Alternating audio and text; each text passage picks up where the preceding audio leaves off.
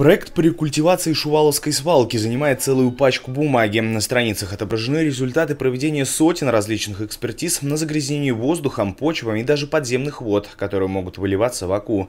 Все показатели превышают норму в тысячи раз. Присутствует большое количество тяжелых металлов, везде идет превышение ПДК, и там, значит, помимо еще и присутствует бензопирен. Территория Шувалской промзоны расположена на площади более 20 гектаров. Здесь захоронены миллионы кубометров бытового и промышленного мусора. Высота составляет более 15 метров.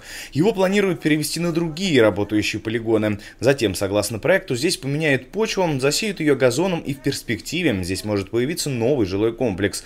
Правда, ждать это придется достаточно долго. По словам экспертов, на том, чтобы привести эту территорию в порядок, уйдет от 5 до 10 лет. Примерно Примерная стоимость рекультивации более миллиарда рублей. Впрочем, масштаб экологической катастрофы требует дальнейшего исследования, поскольку все пробы брали лишь на глубине 10 метров ниже первого слоя свалки.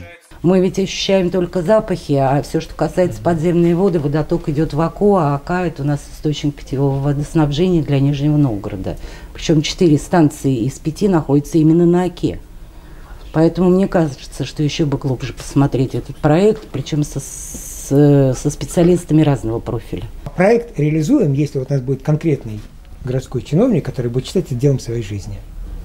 Он будет сказать, его контролировать, он будет ежедневно приезжать сказать, на место и следить, чтобы все работало. Тогда, может быть, и потратить на это, там, грубо, там, 15 лет жизни. Между тем, свалка, которую официально закрыли в 1983 году, продолжает работать. Нарушители приезжают сюда через 16 различных въездов. Заградительные аншлаги установлены только на одном из них. Юрий Афров, Андрей Панов, столица Нижний.